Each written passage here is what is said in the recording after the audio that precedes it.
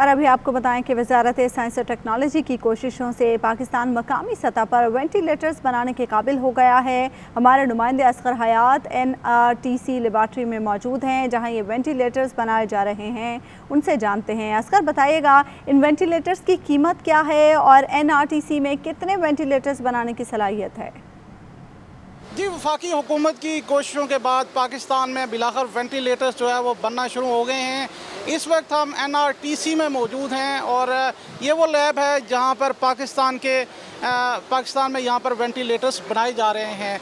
N R T सी के project manager फसीर Rahman हमारे साथ मौजूद जो हमारी कास्ट है वो almost one by one by third है। एज़ कंपेयर जो पाकिस्तान बाहर से वेंटिलेटर इम्पोर्ट करता था। हमारी जो कैपेसिटी है वो more than hundred in one month है। एन सी में बिलाकर वेंटिलेटर्स जो है वो बनना शुरू हो गए हैं और ये वेंटिलेटर्स जो है, इनकी कास्ट भी इंतहाई कम है और एक माह में सौ से ज़ायद वेंटिलेटर्स जो है वो इस लैब में बनाए जा रहे हैं। वजारत साइंस और टेक्नोलॉजी और फवाद चौधरी की कोशिशों के बाद पाकिस्तान में वेंटिलेटर्स बनना शुरू हो गए